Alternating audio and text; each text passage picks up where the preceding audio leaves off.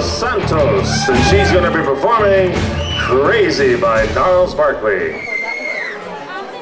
I absolutely love the rendition by Dirty Radio, so I hope you enjoy this one.